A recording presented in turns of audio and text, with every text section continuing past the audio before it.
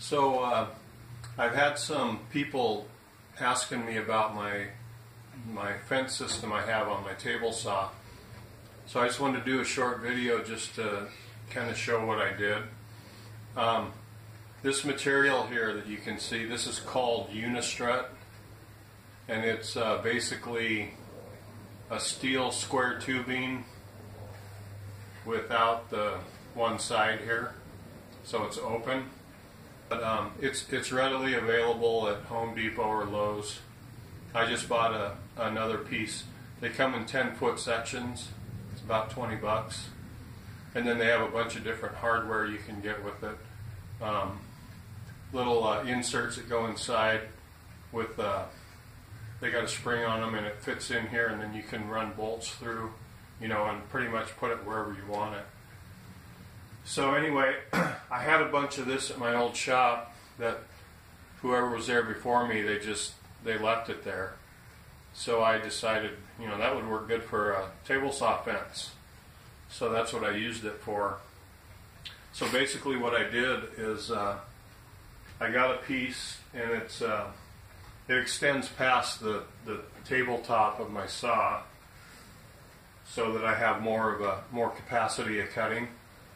So, um, got an L bracket here that uh, I took the old fence off, and there's different sets of holes in the end of my table saw. So basically, what I did is I took an L bracket here and uh, bolted it to the table saw.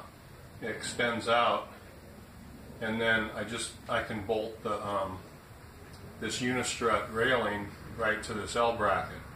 So that holds it here. And then uh, I did the same thing on the other end of the table saw here and just bolted it on. And uh, what I did was the holes are pretty big on here for. Uh, um, I mean, it's got like holes all along here, and they're pretty big. So what I did is I used a smaller bolt so if you loosen it up, it's sloppy, it'll move around. So um, when I put this on, and then I got my uh, fence system built and put on here, and tightened it up, got it all set. And then what I could do is I could just move this on either end, forward or back, and then I was able to adjust the, the fence so that it's 90 degrees to the blade. And then if I ever need to readjust it in the future, I just loosen this up, one end or maybe both ends, depending on what I need to do. And then all I have to do is just shift it, you know, forward or back, just that teeny bit, whatever it takes to square this back up. But I've had this on here for over a year. I set it up initially when I uh, when I put it all together, and it's I haven't had to do anything to it. It's pretty much um, been dead on ever since then. So, um, but I have the option in the future that if I do need to adjust it, I can. Um, as far as the the fence itself, what I did here is uh, got sawdust all over it. So um, this is also a piece of the, this is what it looks like. Some of them have just round holes and some, some have like an oblong hole. The new piece that I just bought for another project, it's actually kind of the oblong.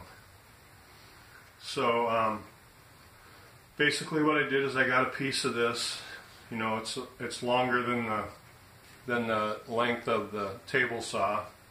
So it extends out the back and out the front or front and back, whichever way you want to do it.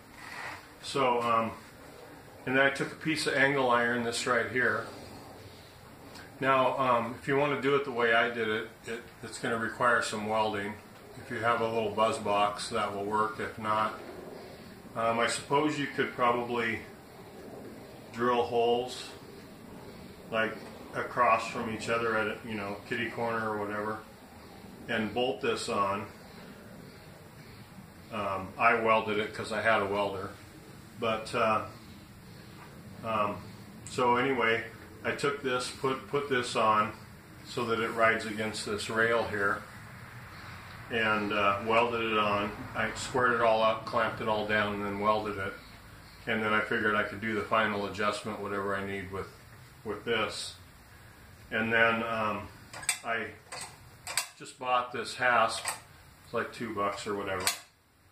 And uh, I welded it on to this other end. So when I have it sitting on this rail, when I tighten it, it pushes the, this against the rail so that I don't leave, you know, any indents or anything from clamping it over the, you know, moving it around over the time. so, so the angle iron, it's about, I think it's about 12 inches, 14 inches, something like that. And uh, this hasp I welded on just as a, um, a surface for the for it to clamp to instead of right against the rail. And now this piece here, this is a C clamp that I I took the threaded part of the C clamp and I went up about, it's about an inch or so, and I just ground off ground the, the threaded part off of the C clamp, and then I just put it on here and I welded it to the um, to this unistrut and that works as my I just tighten this up and it clamps against here to hold it in place. Um, so it, it, works good. Um, having a lever to just lock it in place would be better than having to turn this, you know. But you know, if you don't unscrew it too far, just enough to loosen it, it's just you know a couple of turns and it's tight. So um, So I guess it needs some welding because you would have to weld this on. There's no way to bolt this on once you grind it off. You could bolt this on and this on, but I'm sure if you got it all set up, if you don't have a welder, you could take it to a local welding shop and maybe get it done for 20 bucks or something. I, I don't know. But it would probably take them less than 10 minutes just to tack all this together you know, it doesn't take, it's not like structural, so it doesn't have to be, you know, super heavy duty welding or anything, just, just enough to hold it in place. So, um, anyway, that's pretty much my, my system. One thing I will say that I screwed up on when I, when I did this, so this is something to take into consideration if you decide you want to do this. Um, when I put this all together, I ended up having it up too high. And then I basically welded this angle iron right to this unistrut, just right against it. And the problem that I have now with this setup is these uh, these tracks in here for the for like if you have a crosscut sled or any kind of sled, the um, the inserts that go through this groove here when I pull it back, it hits this because I have it up too high.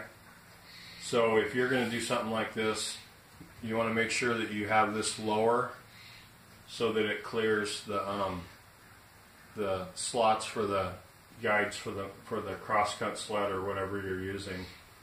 And then on this angle iron, what you're going to have to do is put some kind of a spacer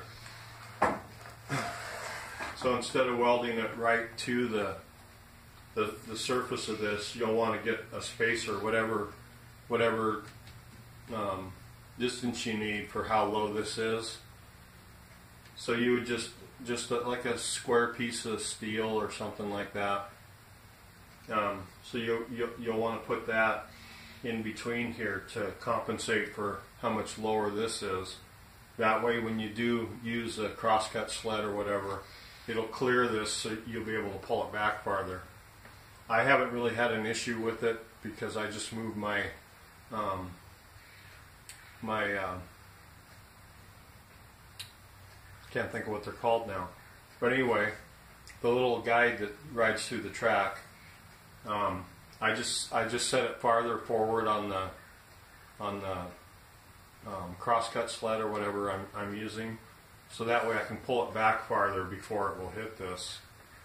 So I mean, it, it works fine for me, but that's just a that's one thing that I that I messed up on that I wish I would have thought of when I was doing it. So that's my tip to you for if you decide to do this. Make sure that you leave this low enough and you compensate with a spacer enough to where if you do have a, a crosscut sled or miter sled or whatever whatever you're using on here, that it will clear this when you pull it back. So anyway, that's my uh, that's my fence system. Um, I mean, I had the materials other than the hasp. I had to buy that. It was a couple bucks, but um, I had all the other stuff. So basically, this this was free, just my time to do it. So, um, but even if you have to buy everything, you know, it, it your biggest expense would be the twenty bucks for a ten foot piece of this uh, this unistrut. So um, anyway, thanks for watching, and uh, I'll see you next time. Oh, don't forget to subscribe.